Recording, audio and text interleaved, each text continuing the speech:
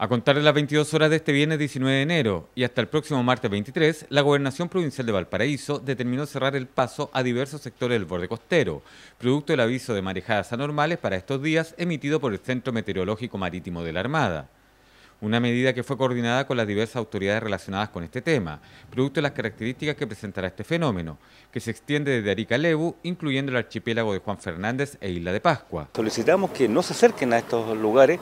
que en la provincia de Valparaíso son particularmente la avenida Perú, en Viña del Mar, el sector de la Roca Oceánica en Concón, y en Valparaíso el paseo Wheelwright, el sector de Caleta eh, Portales y la playa de las Locas en Laguna Verde. Em, quiero también agregar que no está eh, prohibido eh, eh, acceder a estos lugares, particularmente quienes son residentes en ellos y también quienes son sus visitantes, pero a, las demás personas la, solicitud y la exigencia es que no se acerquen a estos lugares entre las 22 horas de este viernes y el próximo día martes. De acuerdo al informe de la Autoridad Marítima, las marejadas alcanzarán su mayor desarrollo en las respectivas horas de la más alta marea y según las condiciones del viento local, con olas que podrían superar los 3 metros de altura. Efectivamente, el fenómeno esperamos que sea con mayor intensidad en la madrugada del domingo, específicamente a contar de la medianoche del sábado y eh, en especial a la una de la mañana, que, es cuando tenemos la pleamar. Por supuesto, el, fenómeno el día domingo va a estar golpeando con fuerza, pero lo principal y donde nos genera mayor preocupación es los horarios de pleamar, porque efectivamente en esos horarios es cuando se generan las olas más grandes y eventualmente las posibles inundaciones que podrían provocar. Por su parte, durante la mañana de este viernes, un equipo de la Escuela de Ingeniería Oceánica de la Universidad de Valparaíso realizó diversas mediciones con el objetivo de estudiar el estado de las playas antes y después de estas marejadas,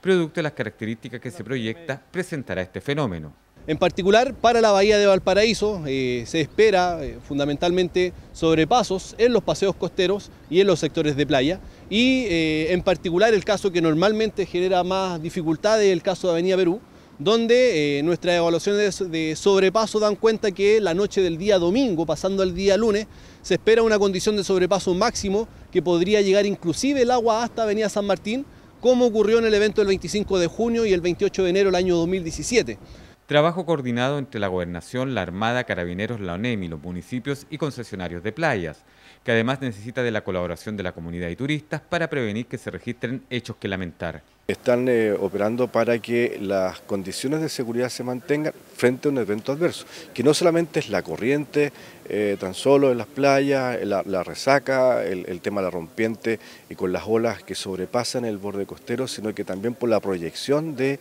elementos eh, sólidos como piedras de un calibre importante que también pueden dañar. Ya hemos visto cómo el mobiliario urbano anteriormente se había desplazado, sillones de más de 200, 300 kilos, de concreto, anclados, fueron movilizados, vehículos que fueron movilizados, por tanto, cómo queda vulnerable la persona, eso hay que tenerlo claro. Durante la inspección a Avenida Perú, las autoridades además llamaron a que quienes visitan las playas lo hagan con precaución y que respeten la orden de no bañarse. Asimismo recordaron que quienes no acaten las medidas adoptadas serán objetos de multas y sanciones.